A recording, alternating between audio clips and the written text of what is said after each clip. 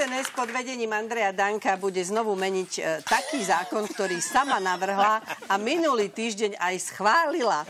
Okrem toho, že slovenskí hokejisti budú musieť mať na dresoch štátny znak, vládna koalícia ešte uzákonila, že sa na Slovensku od polovice mája nebude môcť hrať ani spievať štátna hymna inej krajiny, ak vtedy nebude na Slovensku prítomná oficiálna delegácia toho štátu. Tak. tak.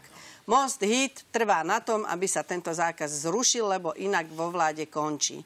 Počúvajte to, teraz mi to ale vysvetlí, Marian, to, to vážne, toto on mys... To napríklad, že keby ja som si chcela zaspievať, že idem po ulici s kamarátkami a máme radi Jezu, lebo to je pekná pesnička a chceme si ju zaspievať a není tu Macron na návšteve, tak ma zavrú? právom zákone pokutovaná.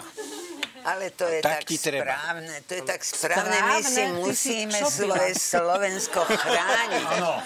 A to vieš čo ešte, že napríklad tí, na tých drezoch, e, for, dresoch. dresoch na drezoch ešte, chvala Bohu, nie? Že tam namiesto tých hokejok by mali byť valašky. Vtedy by boli spokojní tí národniari. Ja po, keď idem po ulici, spievam hymnu Paraguaja. Tu nikto nepozná.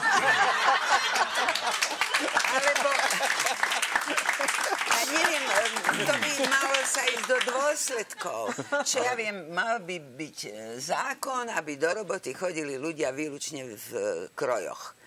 A, slovenských najlepšie. Tak samozrejme, že slovenských. A keď príde zahraničná delegácia, tak im servírovať len halušky s brinzou. A keď budú plesy, tak na plesoch by sa mal len od zemok tancovať. Č- ne, my musíme byť hrdí na, na to, že sme Slováci a nie sa toto ž- posmievať. Ale tabletku ja som... si si nezobrala potom. Ja som chcel, nie, ale seriózne. Dobre.